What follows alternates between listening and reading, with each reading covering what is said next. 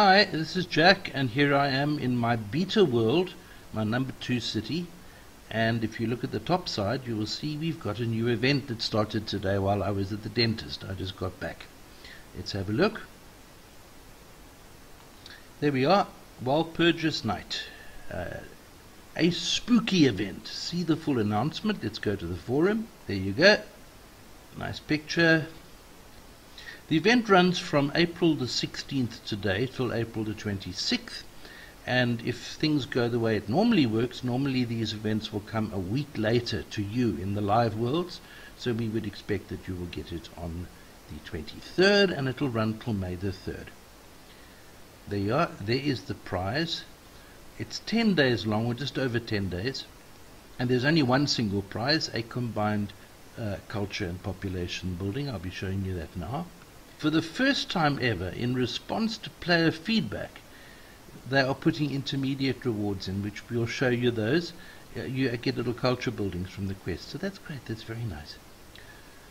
Okay, so there's the new screen. If you click on it, it will take you to this icon. There you go. Produce two beverages, and you get some relics. The second quest line uh, icon merely records the progress of the event, there are 48 quests, and there you go, I've done one. yes, indeed, I actually did do one because I collected some coins quickly while I was cleaning the place up before starting the video. Let's go and look at our note. I've got an event note. There we go, nice picture. I've put in the dates. There's the forum announcement that I just showed you. Okay, now I put this in all my notes. You see, firstly, you must make a bookmark. Don't copy what you're going to find here because I keep changing it. I'll change it over and over again over the next week. So rather just bookmark it. There's how you do it. And you can come back whenever you want to have a look.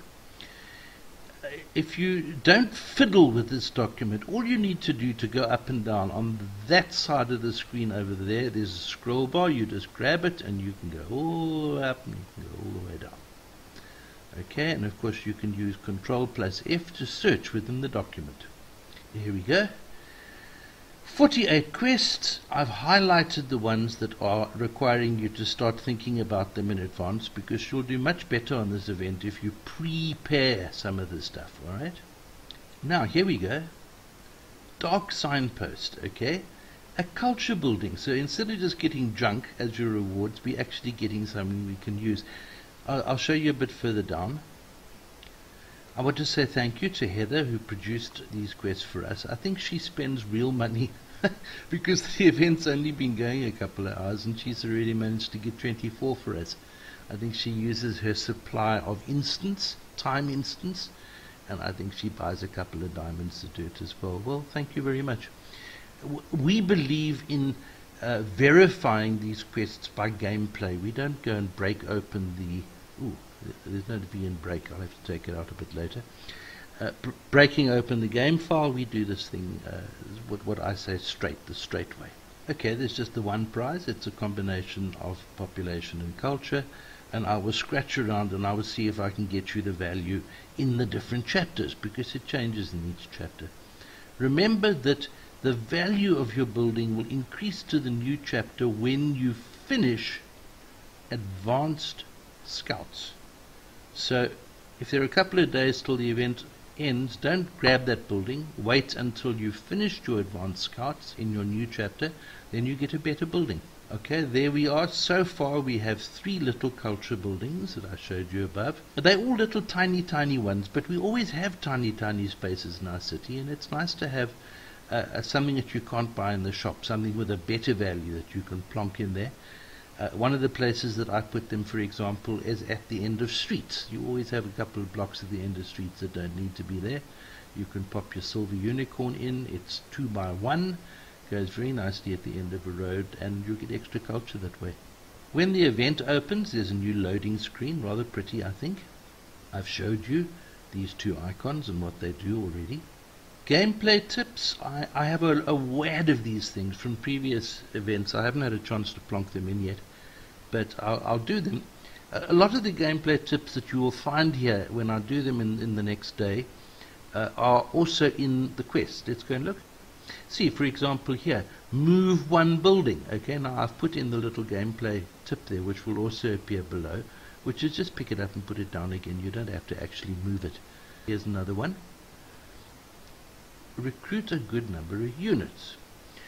Well, there's a slider in, in your training window. I'm going to put the picture in later to show you. I have a picture, a little illustrative graphic, and you don't have to take more units than you want. If you want to save time, you can put in exactly the number you need for the quest. So that's quite clever.